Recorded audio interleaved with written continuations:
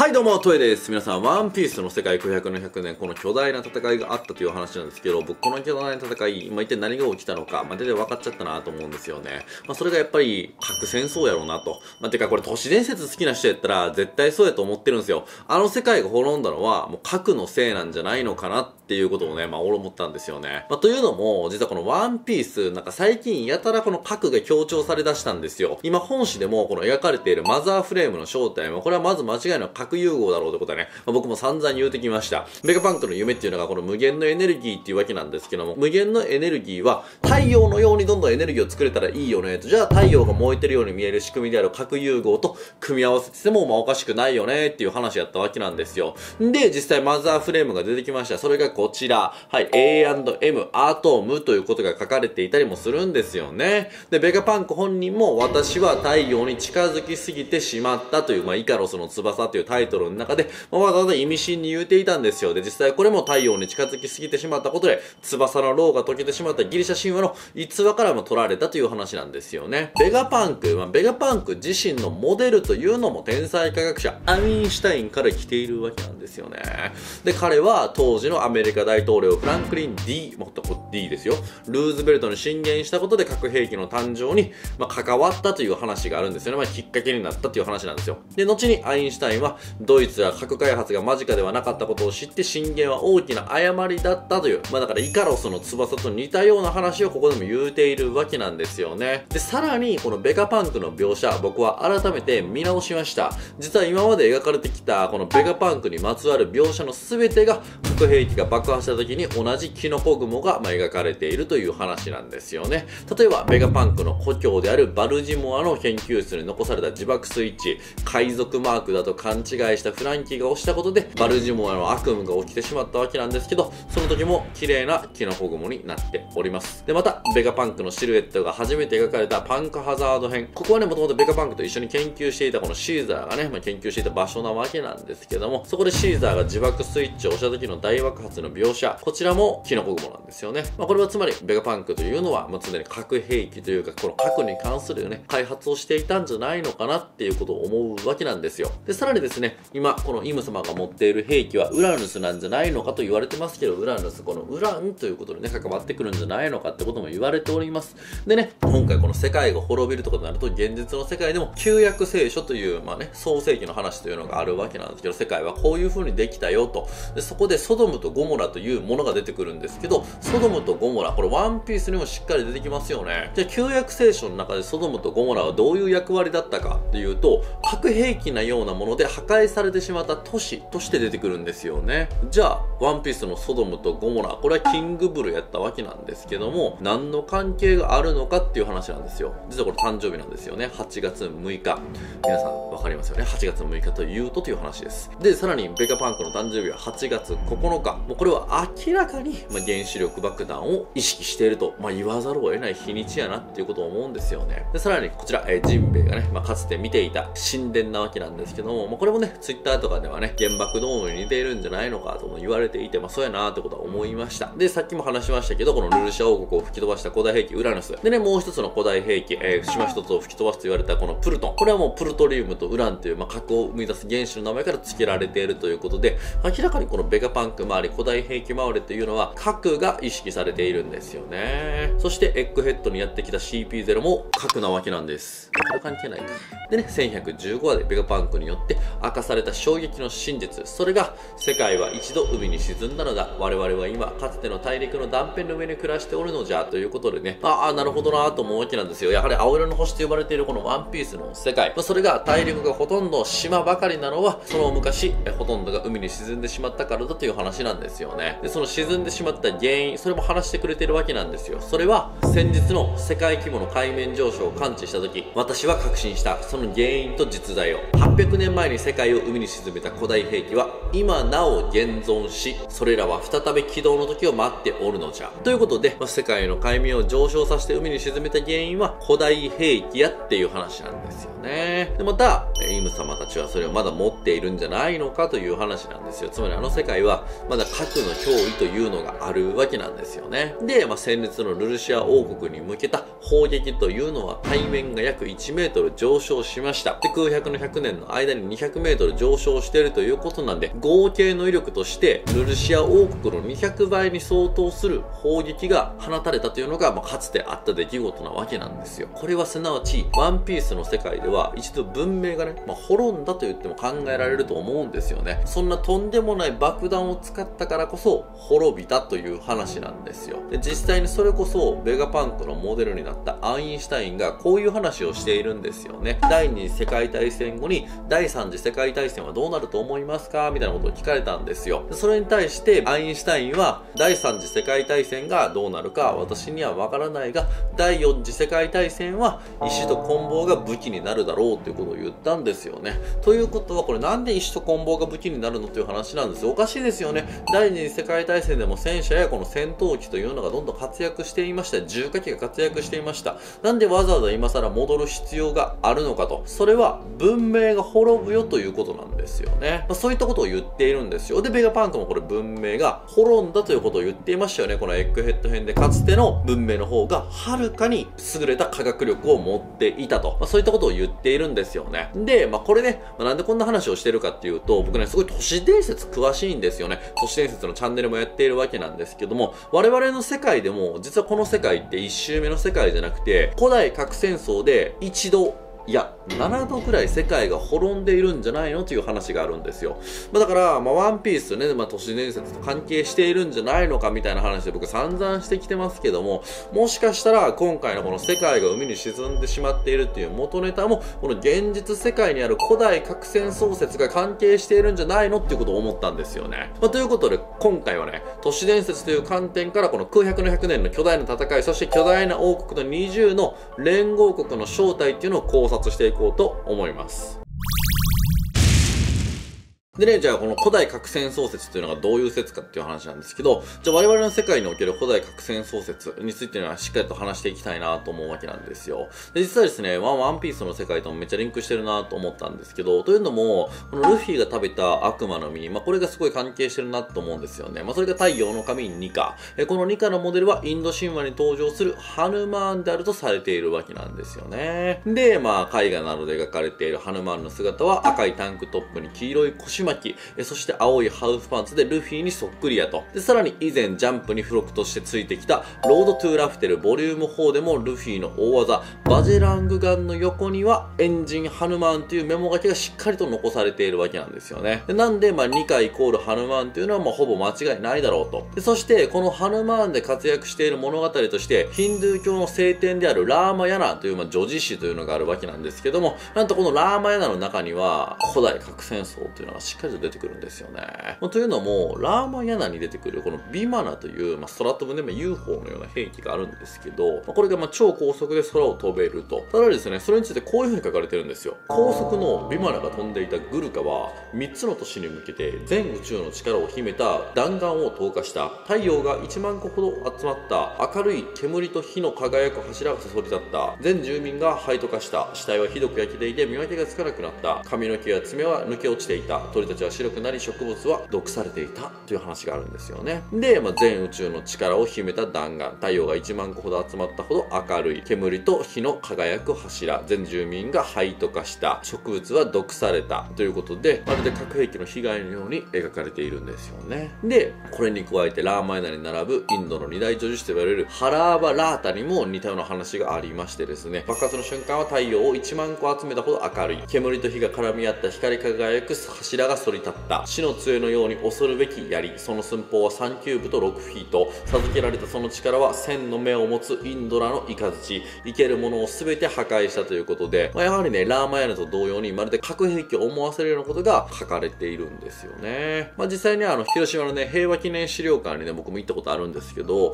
まあ、そこに行った方やったらねここ書いてることがいや原爆のことやなと思うのはね結構あると思うんですよね。でさらにこのニカのモデルがインド神話のハヌマーンでそのハヌマーンが登場するお話で古代核戦争のような記述があるというのは、まあ、とても偶然のようには思えないと。でさらに、えー、全宇宙の力を秘めた弾丸、え、煙と火が絡み合った光り輝く柱。そして空飛ぶ兵器ビマナといった描写はまるでルルシア王国を滅ぼした空からの砲撃に、まあ、そっくりなわけなんですよね。で、まあ、さらに古代核変装の本跡として一番有名なのがインドのお隣パキスタンにあるモヘンジョダロなわけなんですよ。このモヘンジョダロという遺跡ね実はすごいんですよね、まあ、というのも紀元前2500年頃の人口は、まあ、推定4万人ほどやったと言われているんですけどもその中でね実はこの地下にしっかり暮らしていたんですよね。城壁集会場マーケット水洗トイレ下水道そして道路は5番の目のように整備されインダス文明が最も栄えた都市やと言われているわけなんですよね。でねまあこんだけ多くの人が住んでいたということなんですけども、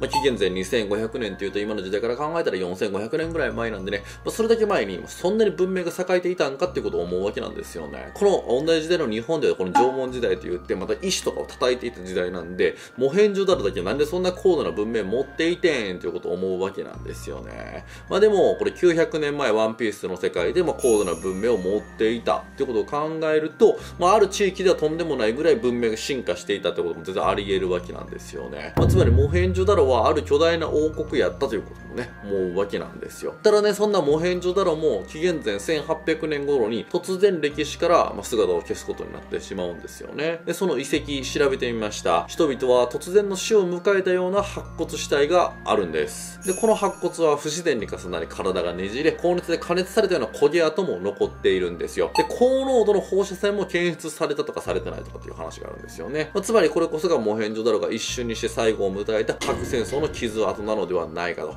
実際にですねこちらのようにこのガラスがね結晶化したようなものが出ているわけなんですけどもこれもね火山とか明らかに熱いものがないと生まれないんですがモヘンジョダロの周辺には火山というのはないんですよね。じゃあこれは爆弾で熱されたものなんじゃないのかっていう話なんですよ。でそんなことができる爆弾ってのはやっぱり原子爆弾なんじゃないのかなっていうことがねあるんですよね。でインドの女子誌であるこのラーマヤのさっき話したやつなんですけどこちらも古代核戦争があったからの記述がありましてでそのインドのお隣パキスタンでも実際に核戦争で滅びたかのような街があるということでまあ明らかにこのインドパキスタンの周辺はもうすごいごい文明が栄えていたんでしょインダス文明みたいな話もありますけどそれ以上に栄えていた文明があるんじゃないのかなと。でまたねこのさっきのガラスの話をさらに深掘りすると、まあ、ガラスになった街と呼ばれる、まあ、現地でも誰も近づかない区域すらあるんですよね。その場所 800m の四方にはガラス化した石や砂がま散乱しておりまして時って合体したレンガや気泡が町にねじ曲がった時の破片などがま多く見つかったと。で、まあ、これらの溶けた異物をね火山学や岩石学より実績のあるローマ学科大学が分析しました。そしたら瞬間的に1000度から1500度の高温が出されたってことは間違いないんですよね。だからモヘンジョダロの周辺には火山がないと。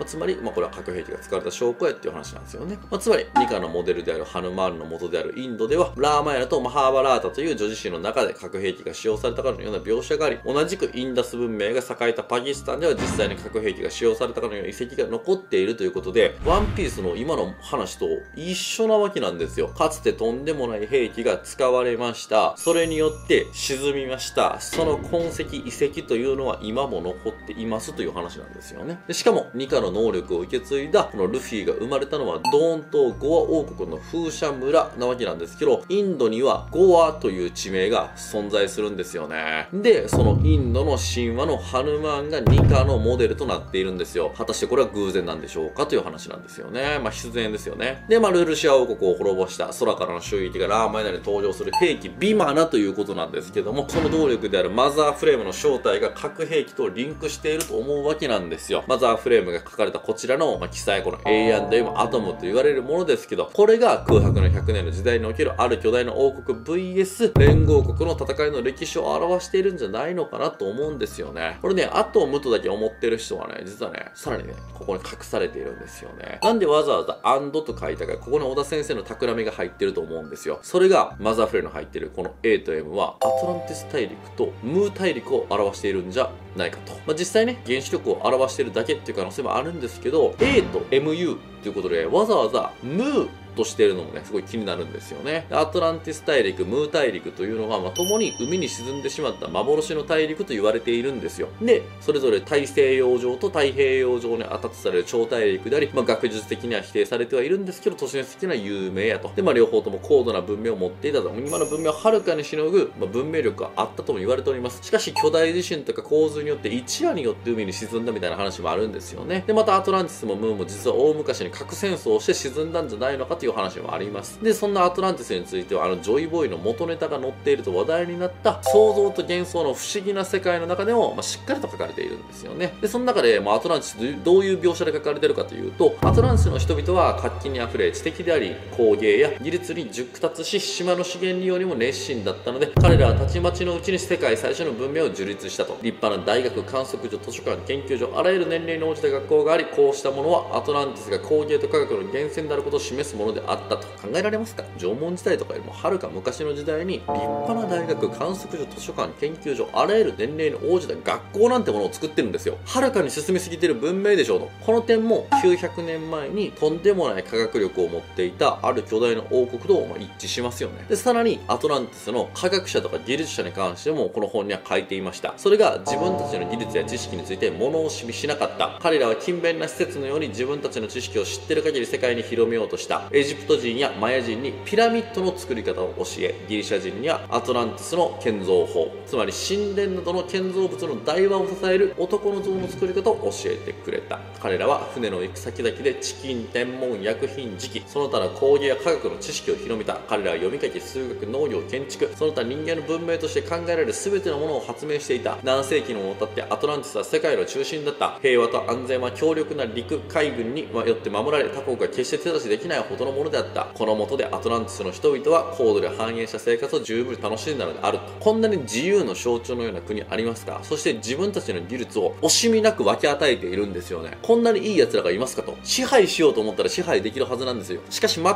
く支配せず自由に与えたと。これなんかワンピースの話聞いてるみたいですよね。空白の100年のこの時代まで存在していたある巨大な奥のモデルっていうのはアトランティスなんじゃないのかなと。アトランティスが世界各地に高度な技術や知識を広めていたように、ある巨大な王国の人たちもそうしたんじゃないのかなと。実はこれと似たような話が、まあ、実際ワンピースで描かれておりまして、モンブランクリケットと、まあ、シャンディアのエピソードですよね。それがこの辺では謎の奇病を神のたりだと信じていたシャンディアと、それには、えー、原因と解決法がある病気だと広めたいクリケットの、いわゆる宗教と科学の激突やったわけなんですよ。まあ、つまりこれもまたベガパンクでいうとこの2つの思想がぶつかっているんですよね。でも最終的には科学が広まったことで鬼熱という病は倒されるようなことになったと。でもこれと似たようなことが空白の100年の時代にもあったんじゃないのかなと。まあ、つまりアトランティスやムー大陸のような超高度な科学文明を持っていたような巨大な王国が世界中の国に科学の力を広めた結果宗教と対立したんじゃないのかなと。だからもしかしたらある巨大な王国の名前はアトム王国のかもしれないですよね。で、もお互いが古代兵器を使った巨大な戦いをした末に世界は海に沈んでしまい、ワンピースの青色の星では海面が200メートルも上昇したと。そして当時の高度な技術も海に沈んでしまったということが、まあ、あり得るんじゃないのかなっていう話をね、思いました。というわけで今回はね、空白の100年における巨大な戦いの正体は古代核戦創設というのを考察してみたんですけど、いかがでしょうか、まあ、これはね、やっぱり都市伝説と結びつけるということなんで、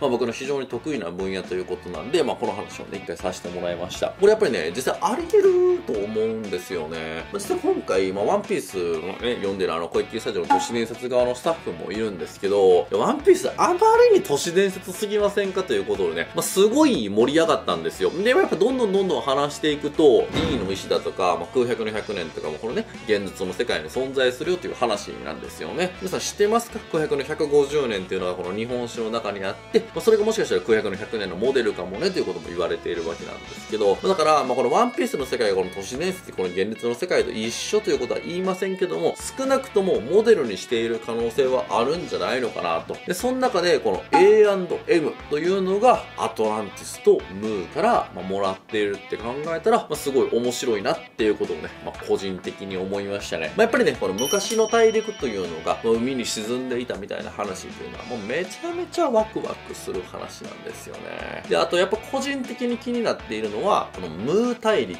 というのが、ワンピースの世界に何かしら関係してくるなら、イムという名前も関係してくるのかなっていうのはね、まあ、すごい気になるところですよね。イム様って絶対この辺の話とかも、まあ、全部知っている上で、パンディア超大陸の名前を冠したパンディア城の花の間に住んでいるというところだと思うんですよね。だからこのイムとムー、これが何かしらの関係があるんじゃないのかなとかいうところもね、まあ、個人的にはワクワクするポイントかなと思いました。であとはねインド神話からインドにあるこのゴア。でこのゴアで生まれたのがルフィアっていう話もなかなか繋がってくるなと思ったんでね結構今回は自信あるんですけどどうでしょうか、まあ、ちなみにねこの古代核戦創設って実はね本当に色々言われていて、まあ、僕冒頭でも言いましたけど世界は一度じゃなくて7度滅んでるっていうのも都市伝説の中に存在するんですよ。俺ワンピースの世界の話かよって思うんですけどもしかしたらワンピースの世界も1000年ごとぐらいにリセットされてる可能性があるなと思っていてというのもワンピースの世界最古の歴史っていうのは全地の木っていうのがあるんですけどもこの全地の木の前にもこの文明っていうのがあったと思うんですよ。なぜならこの全地の木っていうのが誕生したきっかけっていうのも絶対あるしそれを名付けた名前が残り続けてるっていうこともあると思うんで。でそういったことを考えるとあの世界ももしかしたらもう何周も何周も何周も繰り広げられてるのかもしれないと。こうなってくるとやっぱりキーになってくるのは時々の実なのかなと現実の世界とワンピースの世界で一番違うのってやっぱこの悪魔の実の存在だと思うんですよね。もういろんなこのループもののアニメの作品とかってそのループを知覚している人物がいるから面白いってなってくると思うんですよ。でそうなってくるとあの光月時の時々の実そして光月家というのはめちゃめちゃ重要な役割を決めてると思うんですよね。だからこそヤマトは桃之助に対して世界を夜明けに導くのは君なんだよってことを言ったと思うんですよ。僕らはやっぱりこのルフィが今ジョイボーイっていうことがまあね確定してうわすげえなとジョイボーイがやっぱり世界を夜明けに導くんやってやっぱ思いがちなんですけど太陽の神ですしね夜明けにぴったりじゃないですか。でもここで鍵になってくるのが桃之助なんやなっていうことはね考えれば考えるほど、まあ、すごい思いますね。でこの桃之助がこの和の国出身とで和の国は日本がモデルになっていると。で日本というのは、まあ、唯一原子爆弾を落とされた国ということなんですよね。ということはもしかしたら次古代兵器の標的になるのは和の国なんじゃない？かとあそこには古代兵器プルトンもあるんで古代兵器の次の狙う先とかになっちゃってね強制開国みたいなこともねありえちゃうと思うんですよねまということでこの辺を期待しつつねまたね考察をしていきたいと思いますというわけで今日の回が面白かったらぜひ高評価、チャンネル登録よろしくお願いします。それでは、See you!